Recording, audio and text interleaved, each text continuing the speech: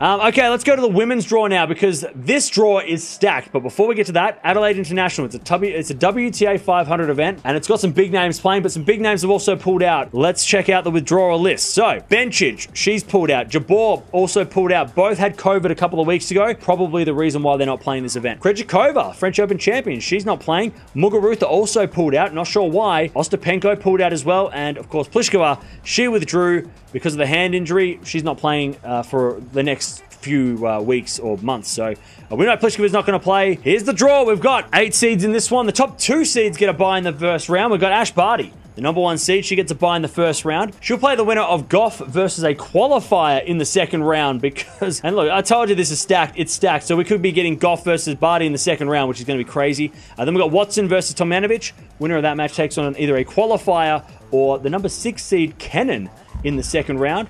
And then we got the match of the, no no doubt, the match of the first round on Monday, hopefully. Badosa versus Azarenka. The number four seed Badosa takes on Victoria Azarenka. It's a replay or a rematch of the Indian Wells final.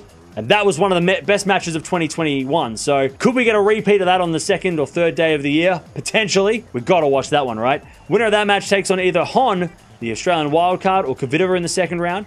And then we've got Alexandrova versus Fernandez. Winner of that match takes on either a qualifier or the number five seed and defending champion, Iga Swiatek.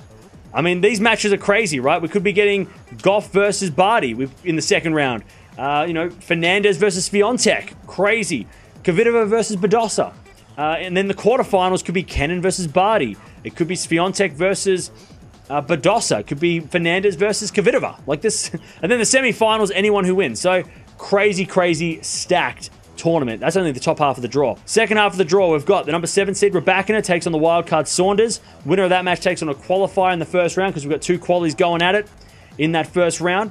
Uh, then we've got another qualifier in this part of the draw taking on Shelby Rogers. Winner of that match takes on either Zidansek or the number three seed Sakkari in the second round. Then we've got the number eight seed Svitolina taking on Gasanova. Winner of that match takes on either Doi or Kachova in the second round. Then we've got Juvan versus PK. Winner of that match takes on the number two seed, Sabalenka in the second round. Now, the second half of the draw is a little bit more open. You've got Sabalenka, uh, Svitolina, Rybakina, Sakkari, and then a bunch of qualies. You know, so it's a little bit more uh, open, I would say, and probably a little bit more predictable. But then again, nothing's predictable in WTA. Top half of that draw stacked. Ridiculous, crazy. First round onwards is just nuts. So Crazy draw. It's a WTA 500 event, huge event on the WTA to start the season, and it's got the best players playing. Could have been a lot bigger with Muguruza and those players pulling out late, but it's exciting. Adelaide's huge.